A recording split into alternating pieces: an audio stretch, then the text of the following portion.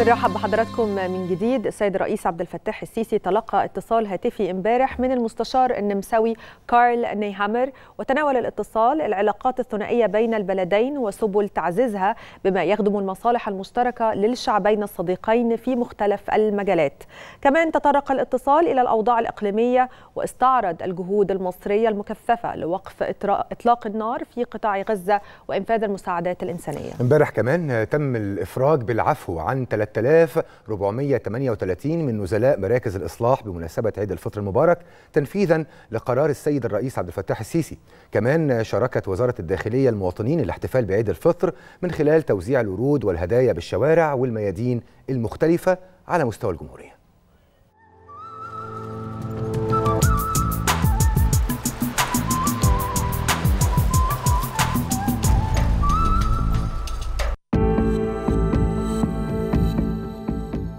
أخبار كتيرة مهمة حصلت امبارح.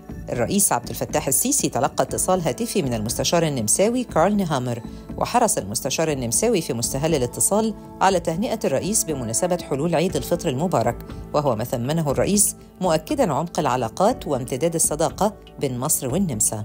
أيضا تناول اتصال العلاقات الثنائية بين البلدين وسبل تعزيزها بما يخدم المصالح المشتركة للشعبين الصديقين في مختلف المجالات في إطار الشراكة الاستراتيجية بين مصر والاتحاد الأوروبي.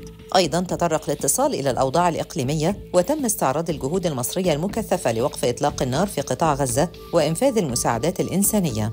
وأكد الرئيس السيسي أهمية اطلاع المجتمع الدولي بمسؤولياته لوقف التصعيد العسكري في القطاع وحماية أهالي غزة من الكارثة الإنسانية اللي بيتعرضوا لها محذرا من الخطورة البالغة لاستمرار التصعيد وتوسع نطاقه بما يهدد أمن واستقرار المنطقة.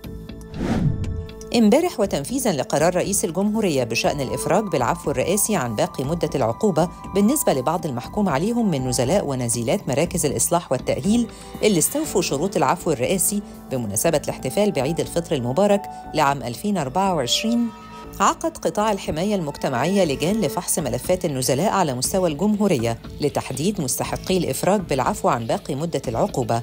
وانتهت أعمال اللجان إلى انطباق القرار على 3438 نزيل ممن يستحقون الإفراج عنهم بالعفو وده خلال احتفالية بمقر قاعة الاحتفالات بمركز إصلاح وتأهيل العاشر من رمضان.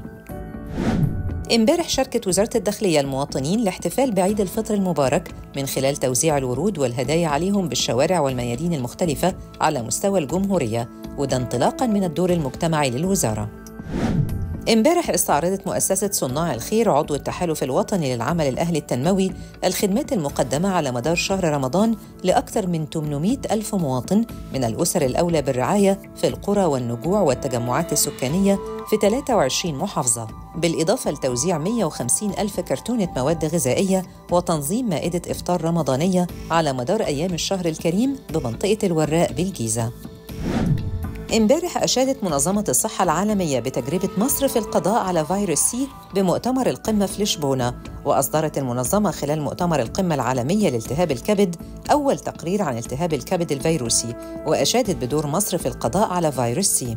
وترأست مصر جلسة مدير عام منظمة الصحة العالمية خلال إلقاء التقرير في المؤتمر اللي عقد في لشبونة بالبرتغال في الفترة من 9 ل 11 إبريل الجاري واللي نظمه التحالف العالمي لالتهاب الكبد بدعم من وزارة الصحة في البرتغال وشارك في رعايته منظمة الصحة العالمية.